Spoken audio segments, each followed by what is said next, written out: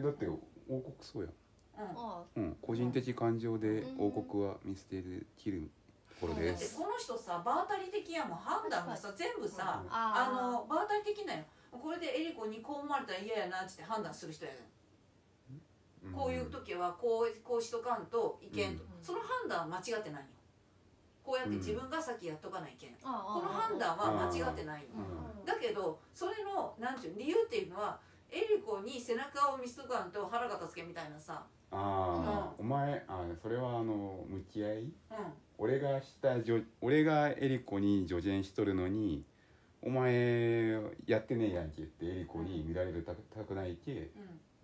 先に進まないうん。そうだようんそうやろうん、そううそうそうそうそう。やけそのなんていうかなその場当たり的な気持ち的に、ねその場その場ない？マサとかねうんんそうなんでだけどやってることは同じなんよ。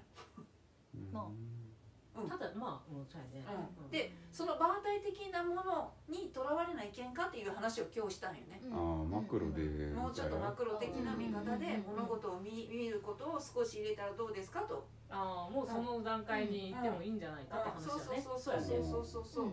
場当たり的にそこで判断するね。判断としては間違ってないよ。うんうんもうちょっと成長してもいいんじゃないですかと。うん周りを見て、多分もう今の段階やったらうん。そこまではできるようになっとった方がねうん。ならんと逆に他もついてこんと思うけどね。うん。そうせんとやっぱさあのねこれからさやっぱマサトは人を引っ張っていくわけやから、うん。うん。そね。そのスタンスそのは素質はマジであると思ううん。おお前らお前らよりウェイト感とかっこ悪いやんけっちゅう考えはもうそろそろさ。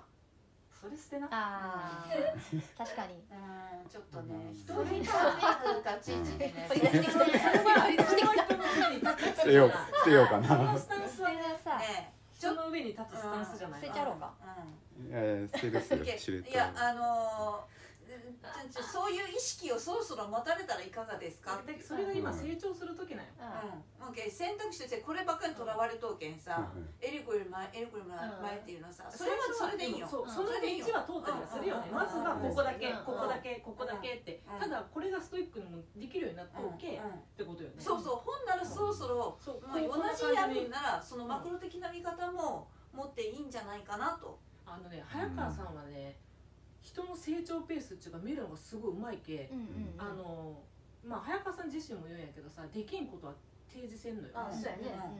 もうできるやろうってそほんで言うんよ。